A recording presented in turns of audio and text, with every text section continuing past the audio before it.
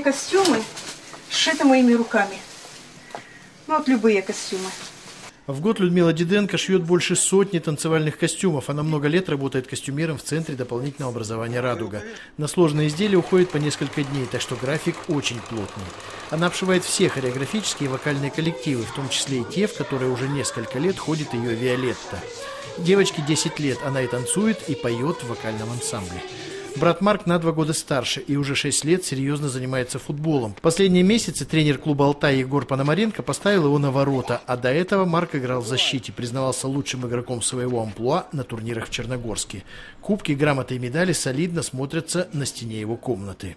Если получится, то обязательно станет профессиональным футболистом. Но есть у Марка и другая мечта. Я хочу стать летчиком. Ну, например, на пассажирском самолете летать хочу. Э, капитаном, ну как, Боинг большой, и я там как бы за штурвалом сижу.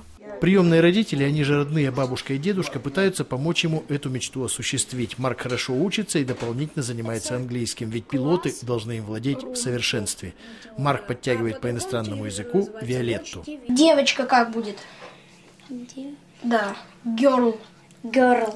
Повтори. Девочка это girl. Молодец. У Виолетты и самой есть педагогические способности. Она любит возиться с малышами, хочет это сделать своей профессией. Я хочу в детском саду с ребятишками работать.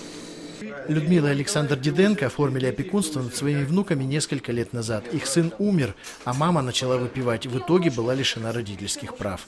Бабушка и дедушка решили, что не отдадут внуков в детдом и заменили родителей. Как могут, развивают их способности, но пылинок не сдувают. Дети к труду приучены. Прополкой занимаются, уборкой помогают. По субботам это у нас генеральная уборка. Значит, один пылесосит, второй моет, моет за собой посуду, но Марк уже начинает учиться чистить картошку. Приучаем к самостоятельности. В комнатах убирают сами. Здесь мы уже не касаемся.